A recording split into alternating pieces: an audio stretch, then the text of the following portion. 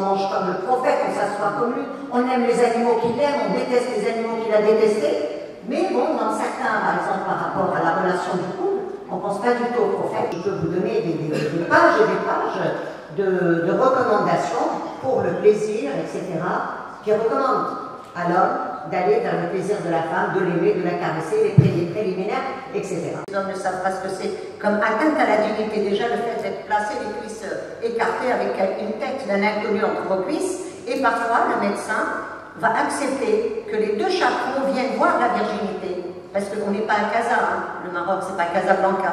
Et parfois, la belle-sœur va dire Je veux voir lui-même. Et donc, on va écarter, on va y avoir deux, trois têtes, etc. Donc, tout ça, c'est de la violence.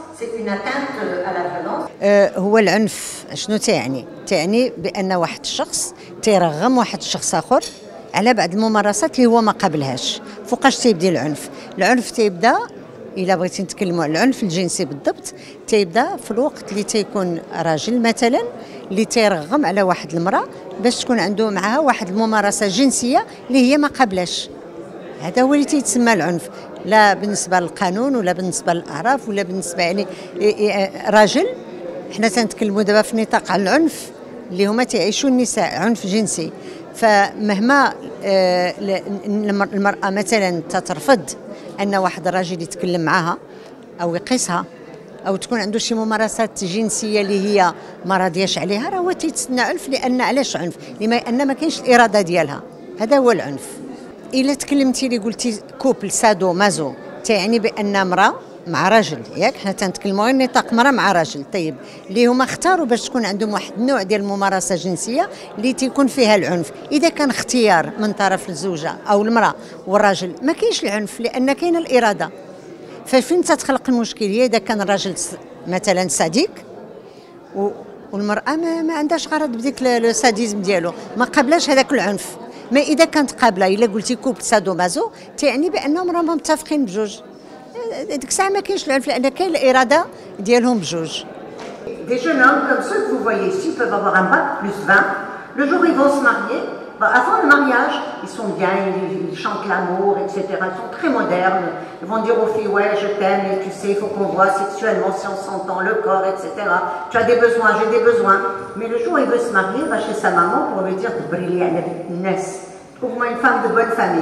Et ça, c'est la majorité écrasante des hommes marocains. Nous allons voir que le droit pénal euh, sexuel marocain, au contraire, il est assez... Euh, euh, سيكسويل عند قراءتنا للقانون الجنائي وخاصة يعني الفصول المتعلقة بالاعتداءات الجنسية نجد أنه لا أثر للاغتصاب الزوجي. وفي كثير من الأحيان هذا الاغتصاب الزوجي يتم تكييفه على أساس أنه ضرب وجرح.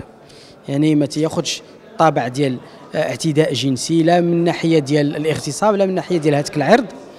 مما يضيع على يعني آه، الضحية فرصة الانتصاف والحصول على يعني آه، الحقوق ديالها آه، ويعني متابعة الجاني مقارنة مع قوانين جنائية يعني في القانون المقارن.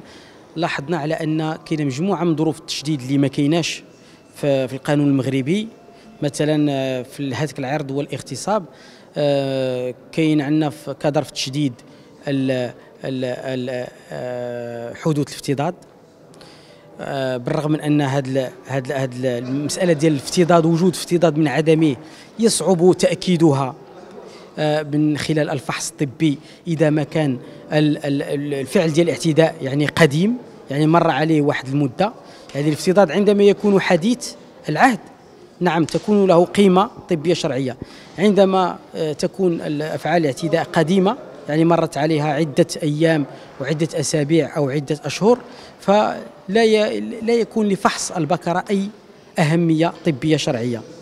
آه، وفي حين أن مثلا حالات ديال آه، آه، عاهة مستديمة مثلا أو إصابات دائمة أو أضرار دائمة تكيف على أنها ظروف تشديد ديال الافعال ديال الاعتداءات الجنسية فالقانون المغربي لا نجد مثل هذه ال ال الإصابات أو يعني مخلفاتها آه، كظرف تشديد.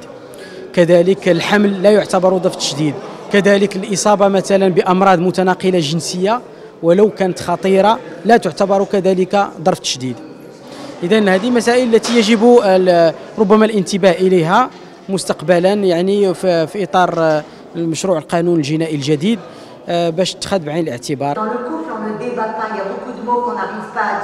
Les femmes ne connaissent pas très bien le corps de l'homme, l'homme ne connaît pas très bien celui de la femme. Et moi, je vois autour de moi énormément de personnes, et des hommes et des femmes qui me consultent, qui posent des questions. Et c'est des questions très simples qui peuvent être résolues entre eux. Ils n'ont pas besoin de médiateurs. Si un homme, le lendemain, les couples ne parlent jamais le lendemain de ce qu'ils ont fait la veille. Ça se fait dans la honte, dans l'obscurité, euh, on n'en parle pas. Mais quand on en parle, effectivement, quand on amène des couples à débattre sur leur sexualité, les choses se passent beaucoup beaucoup mieux euh, qu'avant. ما تنساش تابونا في لاشين وتاكد بالجرس باش يوصلك جديد الفيديوهات من هاد بريس